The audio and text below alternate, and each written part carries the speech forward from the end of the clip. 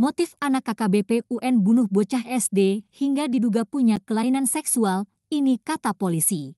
Remaja berinisial MF, 16, kini ditangkap oleh kepolisian lantaran diduga jadi pelaku pembunuhan seorang bocah SD berusia 8 tahun. Adapun jasad korban ditemukan tergeletak di lorong 5, Jalan Asam 2, Kecamatan Palu Barat, Kota Palu, Sulawesi Tengah, Selasa, 31 Oktober 2023 saat ditemukan bocah tersebut berada di semak-semak tanpa busana. Pelaku merupakan anak seorang penisun polisi yang bertugas di Polda Sulteng berinisial LKBP UN. Diketahui, bocah tersebut telah menghilang selama dua hari. Terakhir kali bocah SD tersebut bermain bersama pelaku MF.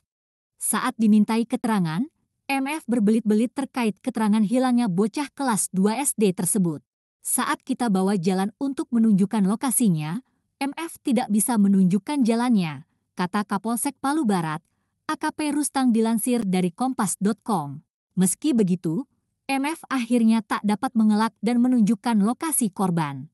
Tapi ada saksi lain yang melihat bahwa MF yang membawa korban. MF tak bisa mengelak. Setelah kita bujuk akhirnya dia menunjukkan lokasinya, jelasnya. Setelah sampai di lokasi yang ditunjukkan MF, polisi akhirnya menemukan bocah tersebut dalam kondisi meninggal dunia. Malam itu juga polisi langsung mengamankan MF. Pengakuannya MF ke kami, bocah itu dibunuh dengan cara dicekik, kata Rustang.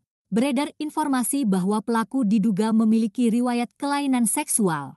Saat ini pelaku sudah ditangkap untuk pemeriksaan lebih lanjut, ucap Kapolsek Palu Barat, AKP Rustang kepada Tribun Palu, Rabu, 1 November 2023.